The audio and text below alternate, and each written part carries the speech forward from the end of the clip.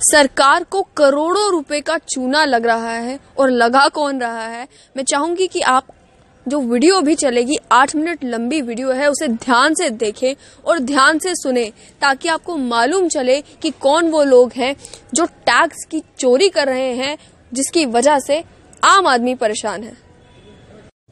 ये वो रोड है जो सांबा से मानसर की ओर जाता है और दिल्ली से आने वाले ट्रक्स इस रोड को इसलिए चुनते हैं क्योंकि इस रोड पर चलने के बाद उन्हें ना ही सांबा में सरोड में जो टोल प्लाजा है वो क्रॉस करना पड़ता है और इस रोड को क्रॉस करके वो सीधा उधमपुर पहुँचते हैं। इसीलिए बन टोल प्लाजा भी उन्हें क्रॉस करना नहीं पड़ता।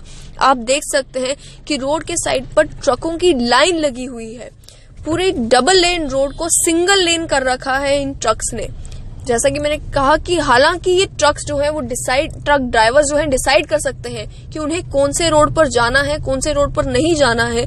लेकिन इनके ट्रक्स इस रोड पर लगने से नुकसान होता है, दो चीज़ों का, एक नुकसान होता है इस सड़क का। ये सड़क जो अगर आप एक साल पहले इस सड़क की हालत देखते तो इस सड़क में गड्ढे नहीं थे। आप आज देख सकते हैं कि इस सड़क की क्या हालत है कि आपको इसमें गड्ढे ही गड्ढे देखने को मिलेंगे। क्योंकि रोज़ाना ये ट्रक्स जो है, वो यहाँ से गुजरते हैं। और दूसरी बात, इन ट्रक्स की रिपेयर और मेंटेनेंस भी उसके बाद नहीं होती। साथ ही साथ ये रोड जो सांबा मानसा रोड है, इस रोड को वैसे बहुत ही सीनिक रोड माना जाता है। सीनिक रोड इसीलिए क्योंकि जो लोग पिकनिक्स पे या किसी भी टूरिस्ट एडवेंचर के लिए मानसर की ओर निकलते हैं तो इस रोड पर उन्हें बहुत ही खूबसूरत पहाड़ियाँ देखने को मिलती है, बहुत ही खूबसूरत नजारे देखने को मिलते हैं। लेकिन जब ये रोड सिंगल लेन हो जाता है इन ट्रक्स की लाइन लगने के बाद, यानी कि जब नेशनल हाईवे पे ट्रैफ़िक रोक दी जाती है, वन वे ट्रैफ़िक कर दी जाती है तो अक्सर ट्रक्स को इसी रास्ते पर रोक दिया जाता है और वो ट्रक्स लाइन भर लाइन इसी सड़क के ऊपर पार्क रहते हैं, जिससे ये double lane road, single lane बन जाती है। और आप देख सकते हैं कि गाड़ी चलाने वाले लोग कोई, कुछ कोई चीज़ नहीं देख सकते, उन्हें यही परेशानी रहती है कि वो इस रास्ते से निकल जाएँ। पूरा रास्ता भी ब्लॉक हो जाता है और साथ ही साथ वो जो खूबसूरत नजारे आपको अक्सर इस रोड पर देखने को मिलते थे, वो भी आपको देखने को नहीं मिलते, आपको देखने को मिलते हैं तो केवल ट्रक्स की ये कतारें। सरकार ने काफ़ी कोशिशें की कि लोगों से टैक्स पे करने की आदत लोगों को डाली जाए।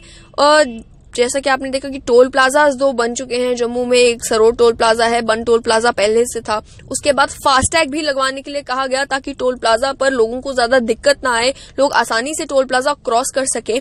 काफ़ी कोशिशें सरकार ने की ताकि ये जितने भी ट्रक्स हैं ट्रकिंग ऑपरेशन एक तो बेहतर हो जाएँ, उसके साथ साथ लोगों को टैक्स भरने में दिक्कत ना आए टोल प्लाजा क्रॉस करने में दिक्कत ना आए। लेकिन आखिर क्या फ़ायदा हुआ इतनी कोशिशों का?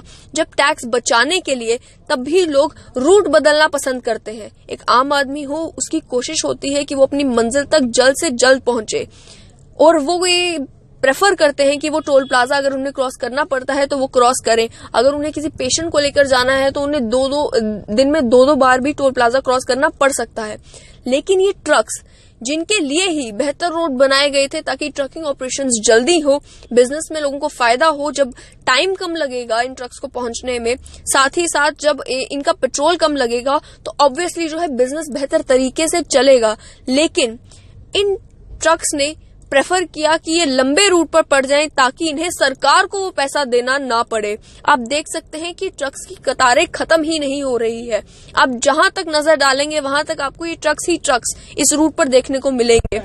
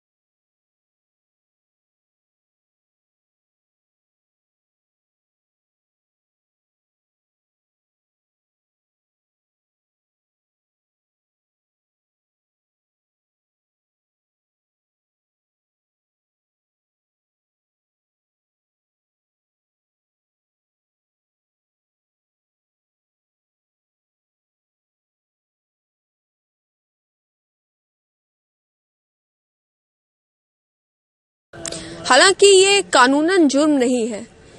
ये जो ट्रक्स चला रहे हैं, इन्हें पूरा पूरा अधिकार है कि ये डिसाइड करें कि इन्हें किस रूट पर जाना है। अगर ये वो रूट नहीं पकड़ रहे जहाँ पर इन्हें टोल देना है, क्योंकि ये उस स्मूथ सड़क का इस्तेमाल भी नहीं कर रहे, इसीलिए ज़रूरी नहीं है कि इन्हें टोल देना ही हो। ये चूज़ कर सकते हैं कि इन्हें किस रूट पर जाना है। पर आप खुद ही समझिए कि सरकार ने, सरकार की कोशिश, जब बेटर रोड्स देने की थी, ये टोल लगाने की थी, वो इसीलिए थी ताकि जब रोड बेहतर होंगे तो ट्रकिंग ऑपरेशन स्मूथली चलेंगे। ट्रकिंग ऑपरेशन स्मूथली चलेंगे तो उससे बिजनेसेस बेहतर होंगे। और कोशिश ये थी कि ये जो ट्रक्स चलते हैं, ये टाइम कम कंज्यूम करें, ये जल्दी अपनी मंजिल तक पहुँच जाए। लेकिन आखिर हो क्या रहा है? वो आपने देखा कि ये ट्रक्स वो रोड अपना रहे हैं जहाँ पर इन्हें अपनी मंजिल तक पहुँचने में वक्त भी ज़्यादा लगेगा और उसी के साथ साथ इन्हें जो जो एक्चुअल कोशिश थी सरकार की, वो भी पूरी नहीं हो पाएगी। टोल तो इन्हें देना ही नहीं पड़ेगा, उसके अलावा जिस रोड पर ये पहुँचे हो, उस रोड को क्रॉस करके ये बहुत देर से जो है अपनी मंजिल तक पहुँचेंगे। तो आखिर, अब काफ़ी सारा लोग हैं, वो ये कमेंट करेंगे कि आखिर ट्रक ड्राइवर हैं, ये तो बहुत गरीब हैं, अगर ये नहीं टोल दे रहे तो क्या प्रॉब्लम है? तो मैं आपको बता दूँ कि प्रॉब्लम उन ट्रक ड्राइवर्स के साथ नहीं है। लोग जो ये टैक्स की चोरी कर रहे हैं, ये वो लोग हैं जो इन ट्रक्स के ओनर्स हैं। और आप कोई भी ये प्लीज़ मत कहिएगा कि ये जो ट्रक्स के ओनर्स हैं, वो बड़े गरीब लोग हैं, क्योंकि वो करोड़पति लोगों में से एक है जो ये जो ये ट्रकिंग ऑपरेशंस कंडक्ट करवाते हैं।